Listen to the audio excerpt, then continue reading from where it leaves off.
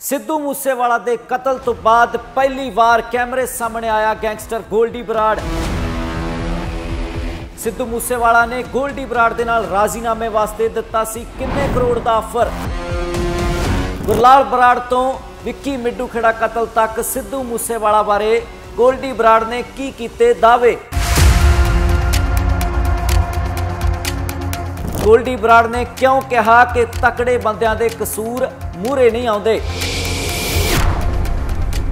ਸਤਿ ਸ਼੍ਰੀ ਅਕਾਲ pro Punjab TV ਦੇਖ ਰਹੇ ਹੋ ਤੁਸੀਂ, ਮੈਂ ਕਰਨ ਹਾਂਡਾ। ਸਿੱਧੂ ਮੂਸੇਵਾਲਾ ਦੇ ਸਨਸਨੀਖੇਜ਼ ਕਤਲ ਤੋਂ ਬਾਅਦ ਗੈਂਗਸਟਰ ਗੋਲਡੀ ਬਰਾੜ ਅੱਜ ਪਹਿਲੀ ਵਾਰ ਕੈਮਰੇ ਮੂਰੇ ਆਇਆ ਹੈ ਤੇ ਉਸ ਵੱਲੋਂ ਇੱਕ ਵੀਡੀਓ ਰਾਹੀਂ ਕਈ ਸਾਰੇ ਦਾਅਵੇ ਕੀਤੇ ਗਏ ਨੇ। ਆਪਣੇ ਭਰਾ ਗੁਰਲਾਲ ਬਰਾੜ ਦੀ ਮੌਤ ਤੋਂ ਲੈ ਕੇ ਵਿੱਕੀ ਮਿੱਡੂ ਖੇੜਾ ਕਤਲ ਤੱਕ ਸਿੱਧੂ ਮੂਸੇਵਾਲਾ ਬਾਰੇ ਕਈ ਸਾਰੇ ਦਾਅਵੇ ਗੈਂਗਸਟਰ ਗੋਲਡੀ ਬਰਾੜ ਵੱਲੋਂ ਕੀਤੇ ਗਏ ਨੇ। ਇਸ ਵੀਡੀਓ ਦੇ ਵਿੱਚ ਇਹ ਵੀ ਦੱਸਿਆ ਉਸਨੇ, ਦਾਅਵਾ ਕੀਤਾ ਹੈ ਕਿ ਸਿੱਧੂ ਮੂਸੇਵਾਲਾ ਨੇ ਰਾਜ਼ੀਨਾਮੇ ਵਾਸਤੇ ਕਈ ਕਰੋੜਾਂ ਦਾ ਆਫਰ ਕੀਤਾ ਸੀ। ਤਾਂ ਕੀ ਕੁਝ ਖੁਲਾਸੇ ਇਸ ਵੀਡੀਓ ਦੇ ਵਿੱਚ, ਕੀ ਕੁਝ ਦਾਅਵੇ ਗੈਂਗਸਟਰ ਗੋਲਡੀ ਬਰਾੜ ਕਰਦਾ ਨਜ਼ਰ ਆ ਰਿਹਾ ਆਓ ਸੁਣਦੇ ਹਾਂ। ਗੋਲਡੀ ਬਰਾੜ ਨੇ ਪਹਿਲੀ ਵਾਰ ਦੁਨੀਆ ਮੂਰੇ ਕੈਮਰੇ ਦੇ ਸਾਹਮਣੇ ਆ ਕੇ ਕਿਹਾ ਕਿ ਉਸ ਨੂੰ ਮੂਸੇਵਾਲੇ ਦੇ ਕਤਲ ਕਰਨ ਦਾ ਕੋਈ ਅਫਸੋਸ ਨਹੀਂ ਹੈ। ਗੈਂਗਸਟਰ ਗੋਲਡੀ ਬਰਾੜ ਵੱਲੋਂ ਕੈਮਰੇ ਮੂਰੇ ਆ ਕੇ ਕੀਤੇ ਗਏ ਦਾਅਵੇ ਸਨਸਨੀ ਖੇਜ਼ ਨੇ। ਉਹਨਾਂ ਦੇ ਵਿੱਚੋਂ ਕੁਝ ਇਸ ਤਰ੍ਹਾਂ ਨੇ।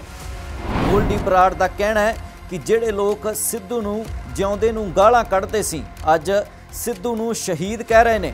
ਉਸਨੇ ਇਹ ਵੀ ਕਿਹਾ ਕਿ ਉਸ ਨੂੰ ਸ਼ਹੀਦ ਕਹਿਣਾ ਸਹੀ ਨਹੀਂ, ਬਲਕਿ ਸਿੱਧੂ ਦਾ ਕਤਲ ਸਮੇਂ ਦੀ ਮੰਗ ਸੀ। ਸਿੱਧੂ ਮੂਸੇਵਾਲਾ ਵੀ ਸੀ ਕਾਤਲ। ਸਾਡੇ ਕਈ ਭਰਾਵਾਂ ਦੇ ਕਤਲ ਦੇ ਵਿੱਚ ਉਸ ਦਾ ਸੀ ਹੱਥ। ਸਿੱਧੇ ਅਸਿੱਧੇ ਤੌਰ ਤੇ ਸੀ ਕਤਲ ਦੇ ਵਿੱਚ ਸ਼ਾਮਲ। ਤਕੜੇ ਬੰਦਿਆਂ ਦਾ ਕਸੂਰ ਮੂਰੇ ਨਹੀਂ ਆਉਂਦਾ। ਲੋਕ ਵੀ ਸਭ ਭੁੱਲ ਜਾਂਦੇ ਨੇ। ਮਰਨ ਤੋਂ ਬਾਅਦ ਸਿੱਧੂ ਚੰਗਾ ਹੋ ਗਿਆ। ਇੱਕੋ ਦਮ ਲੋਕਾਂ ਦੀ ਸੋਚ ਬਦਲ ਗਈ। ਕਿਉਂਕਿ ਉਸਦੇ ਘਰਦਿਆਂ ਦੀਆਂ ਕੁਝ ਜਜ਼ਬਾਤੀ ਵੀਡੀਓ ਸਾਹਮਣੇ ਆ ਗਈਆਂ।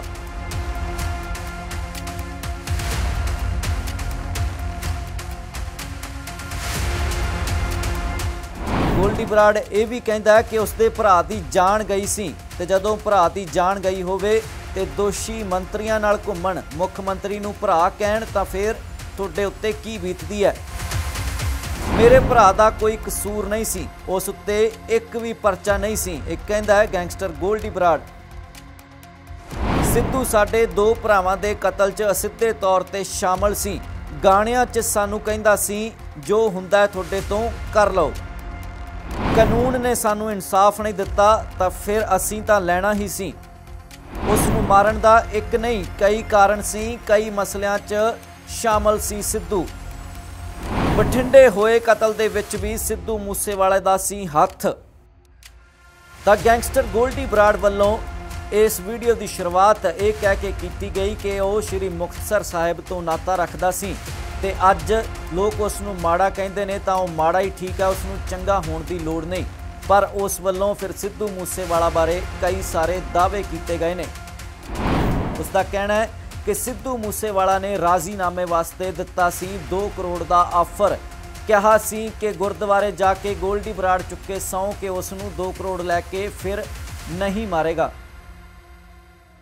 ਹਾਲਾਂਕਿ ਇਹਨਾਂ ਦਾਅਵਿਆਂ ਦੀ ਪ੍ਰੋ ਪੰਜਾਬ ਟੀਵੀ ਪੁਸ਼ਟੀ ਨਹੀਂ ਕਰਦਾ, ਪਰ ਜੋ ਕੁਝ ਇਸ ਵੀਡੀਓ ਦੇ ਵਿੱਚ ਗੋਲਡੀ ਬਰਾੜ ਨੇ ਆਖਿਆ ਸੀ, ਉਹ ਅਸੀਂ ਤੁਹਾਡੇ ਤੱਕ ਪਹੁੰਚਾਇਆ ਹੈ। ਤੁਸੀਂ ਇਸ ਬਾਰੇ ਆਪਣੇ ਵਿਚਾਰ ਕਮੈਂਟ ਬਾਕਸ ਸਾਂਝੇ ਕਰੋ। ਦੇਖਦੇ ਰਹੋ ਪ੍ਰੋ ਪੰਜਾਬ ਟੀਵੀ। ਧੰਨਵਾਦ।